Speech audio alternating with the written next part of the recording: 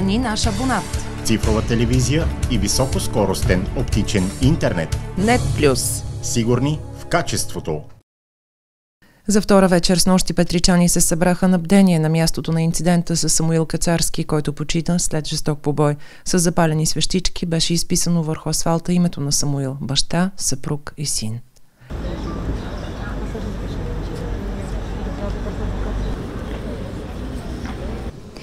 Моето наблюдение е, че народът си измини вече в Петричани. Ние, ние си подавахме ръка един на друг. Сега един от друг не се искаме да си видим. Е, защо дойде тази Откъде?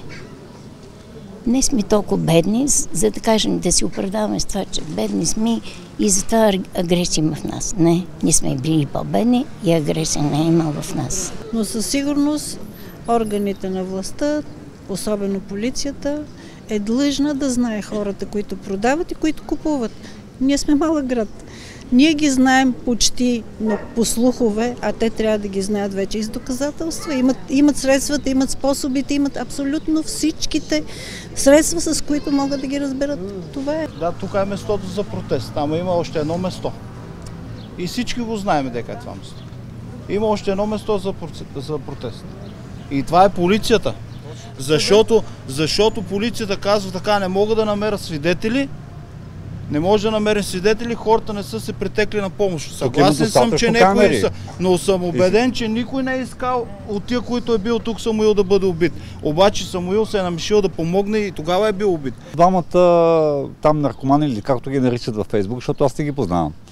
Те не са, не само те са виновни. Виновни са всичките зрители, които са били тук и които са снимали, които са се радвали, които са, може би, по някакъв начин, да, потиквали към това нещо. В социалните мрежи след трагичната смърт на Самуил е публикувано и прочувствено стихотворение, посветено на него. То беше прочетено с нощи – стъга, болка и прискърбие.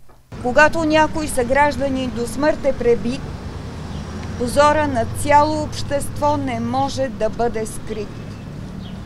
Как ги допуснахме тези неща? Нали живеем в мирни времена? Ще има ли справедливост за тази уродливост?